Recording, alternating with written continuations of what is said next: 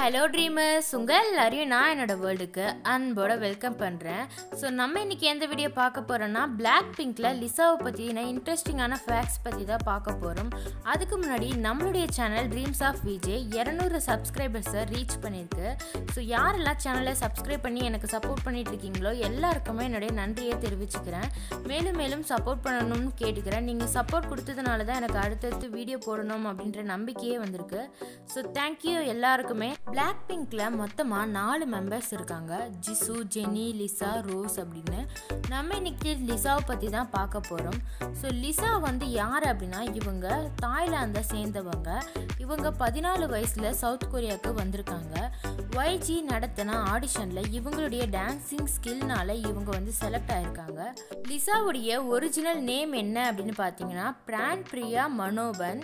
இவங்க ஏன் அவங்களுடைய நேமை லலிசா மனோபன் மாற்றினாங்கன்னா லலிசா அப்படின்ற பேருக்கு தாயில் வந்து யார் அதிகமாக புகழை பெறுவாங்க அப்படின்னு சொல்லி ஒரு அர்த்தம் இருக்குது ஸோ அந்த லக்குக்காக தான் இவங்க அந்த பேரையும் வந்து வச்சுருக்காங்க.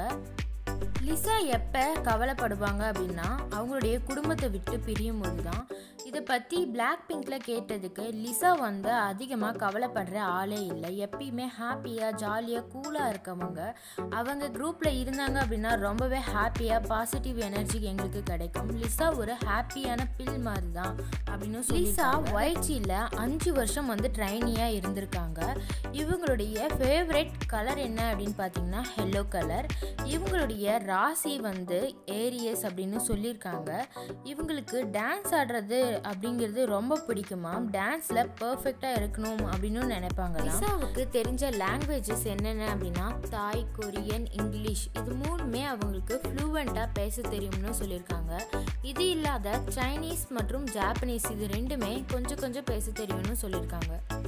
அதுக்கப்புறம் லிசாவுக்கு ஒரு வித்தியாசமான ஹாபி இருக்குது அது என்னன்னா இவங்க அதிகமாக பணம் வந்து செலவு பண்ணுவாங்க. இவங்களுக்கு பணம் செலவு பண்ணுறதுனா ரொம்பவே பிடிக்குமாம். ஷாப்பிங் அடிக்கடி போவாங்களாம். ஷாப்பிங் போனாலும் காஸ்ட்லியான பொருட்களை தான் அதிகமாக வாங்குவாங்க அப்படின்னு பிளாக் பிங்கில் இருக்க மெம்பர்ஸ் வந்து சொல்லியிருக்காங்க.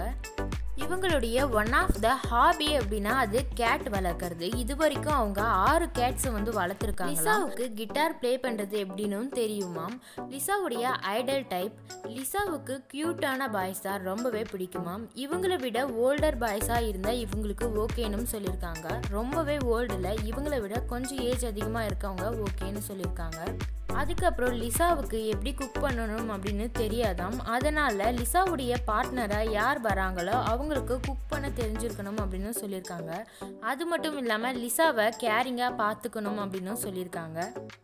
அதுக்கப்புறம் கூகுள்லேயே வந்து most searched K pop idol in twenty twenty டூவில் நாலாவது இடத்துல நம்மளுடைய லிசா வந்து இருக்காங்க. அதிகமாக லிசாவை பற்றியும் சர்ச் பண்ணி பார்த்துருக்காங்க லிசாவுடைய லலிசா அப்படின்ற சாங் வந்து ரீசெண்டாக ரிலீஸ் ஆகி ரொம்ப பெரிய ஹிட்டும் வந்து கொடுத்துச்சு.